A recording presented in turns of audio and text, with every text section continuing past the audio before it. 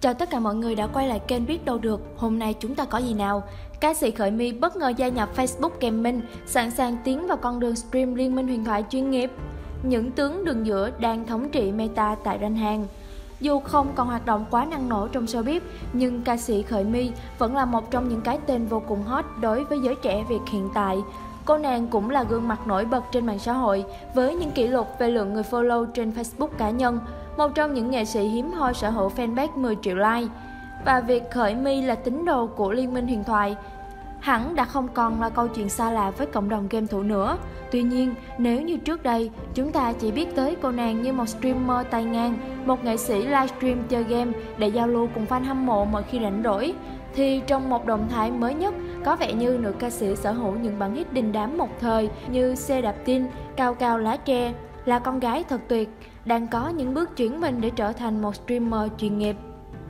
Cụ thể, mới đây, cô nàng đã được xác nhận sẽ gia nhập Facebook Gaming, một trong những nền tảng stream hot nhất hiện nay, hội tụ những tên tuổi đình đám trong làng game như Chim sẻ đi nắng, Nam Blue, Virus, trâu TV. Với động thái này, Khởi My sẽ trở thành streamer độc quyền của Facebook Gaming và ngay sau thông báo nói trên, cô nàng cũng chính thức vào việc khi on stream trên Facebook với tựa game ưa thích Liên minh huyền thoại.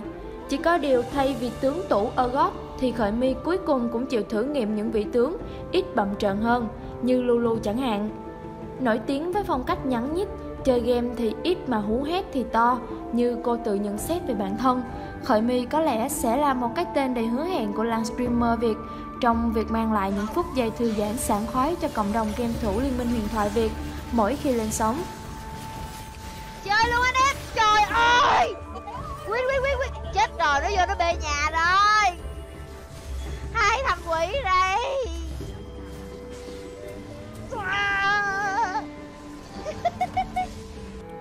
Những tướng đường giữa đang thống trị meta tại ranh hàng nhiều khu vực trên thế giới ưa chuộng những vị tướng có khả năng solo một với một mạnh, nhưng ở đường giữa ranh hàng lại đang được thống trị bởi những vị tướng có thể dạo quanh bản đồ để giúp đồng đội.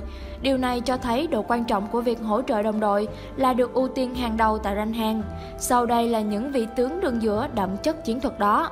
Đầu tiên có thể kể đến là Pantheon là một trong số những vị tướng không cần chiêu cuối, vẫn có thể solo 1-1 với đối thủ. Pantheon vẫn được yêu thích tại ranh hàng. Tại giai đoạn đi đường, Pantheon tương đối dễ thở vì bộ kỹ năng quá toàn diện của mình. Dọn lính với Q, làm choáng chọn mục tiêu với W, combo tốc biến W là rất dễ có điểm hạ gục khi có đồng đội hỗ trợ. Sau cùng là E, có thể chặn sát thương, né ranh cực tốt mà băng trụ địch cũng rất mạnh.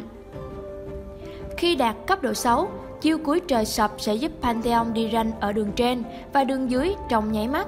Chỉ cần đối thủ sơ ý lên cao một chút là sẽ phải trả giá rất đắt.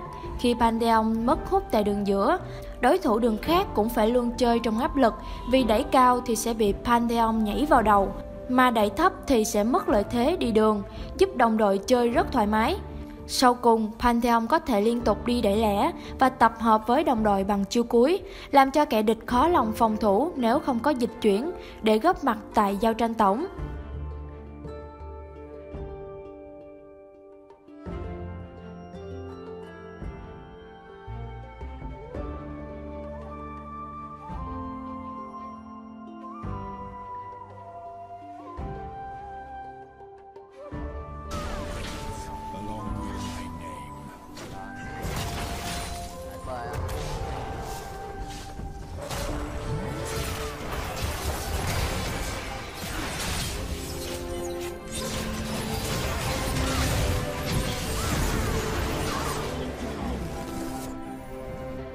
Đến là thần bài TF. Giống như Pantheon, TF cũng có cú làm choáng chọn mục tiêu rất lợi hại với W. Nhiều đối thủ nếu chủ quan sẽ bị TF gọi rừng, ra hồi tốc biến, làm choáng, lấy chiến công đầu một cách dễ dàng. Trước cấp độ 6 thì tên thần bài này cũng không có nhiều áp lực lắm vì có thể đẩy đường khá tốt, lên thẳng dày bạc để biến về và trở lại đường liên tục nếu cần thiết. Mà với nội tại gian lận thì TF Phạm hòa cũng hơn tiền đối thủ, có thể tạo trên lệch đồ từ rất sớm và lăn cầu tuyết cả trận. Cho đến cấp độ 6, sự uy hiếp của thần bài sẽ mở rộng ra toàn bản đồ nhờ chiêu cuối định mệnh của mình. Chỉ cần xuất hiện bất thình linh và phi một lá bài vàng ra là đối thủ sẽ gục ngã trong nháy mắt. Khả năng hỗ trợ đồng đội gần như mọi lúc mọi nơi này là thứ biến TF trở thành vị tướng hot nhất nhì ranh hàng cũng như LCK.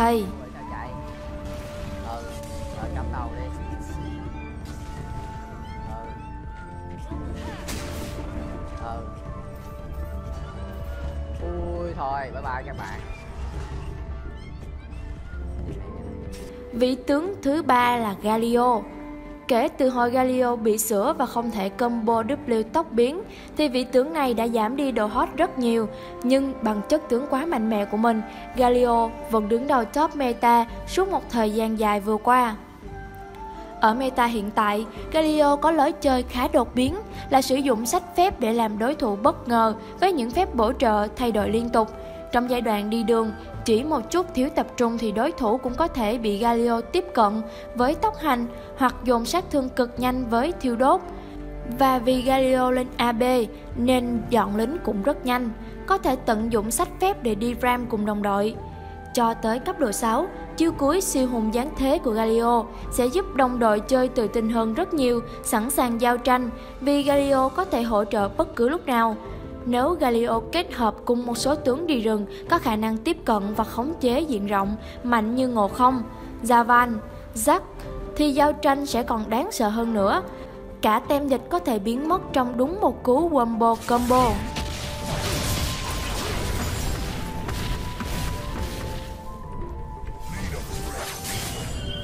Đạp tôi xong coi ông có chết không tôi hỏi thật á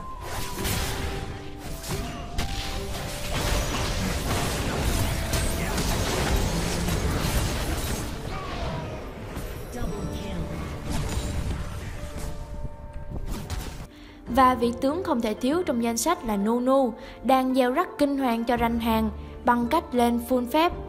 Với sự chỉnh sửa của những món đồ hỗ trợ, hàng loạt tướng mang thiên hướng hỗ trợ đồ bộ, Ramit để dồn tài nguyên cho người đi rừng. Trước đây, chúng ta có sự trở lại của Tarek đường giữa pop cho Master Yi. Ở thời điểm hiện tại thì Nunu bỗng nhiên xuất hiện với phong cách đi ranh và đảo đường ngay từ cấp độ 3. Với lối chơi này, nhằm nâng cao khả năng đảo đường, người ta còn sử dụng cả phép tăng tốc thay vì tốc biến như thông thường. Nunu là vị tướng được pop nhiều nhất trong bản 10.13. Chỉ riêng kỹ năng Q tăng sát thương từ 50% AB lên 65% AB và tăng hồi máu từ 70% AB lên 90% AB là đã giúp cho Nunu đi ram cũng như dần rừng hoặc lính mạnh hơn rất nhiều rồi. Chưa kể đến chiều cuối tuyệt định băng giá, giờ còn tạo lá chắn theo phần trăm máu, cộng thêm và 150% AB, biến Nunu thành ngọn tháp vô cùng kiên cố trong giao tranh, vừa tăng trâu vừa nhiều sát thương. Lối chơi của phong cách này rất đơn giản, bạn dùng W, cầu tuyết trong truyền thuyết, từ nhà và lái ra đường giữa, ăn sạch lính và dùng quy, ngấu nghiến để ăn con lính xe.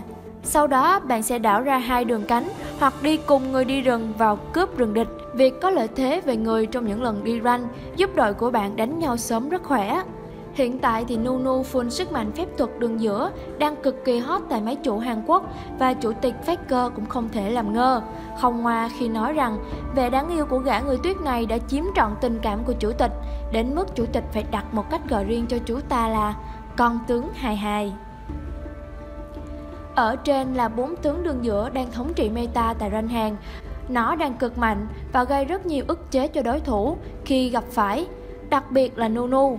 Vậy còn ngày gì mà không test thử vài trận cùng đồng đội đi nào? Sau khi xem xong video, đừng quên để lại một like, một share và đăng ký ủng hộ kênh của chúng mình nha. À, mày giết hộ cái Giết hộ cái Trời xa vậy, xa xăm vậy Xa thế tôi đâu chết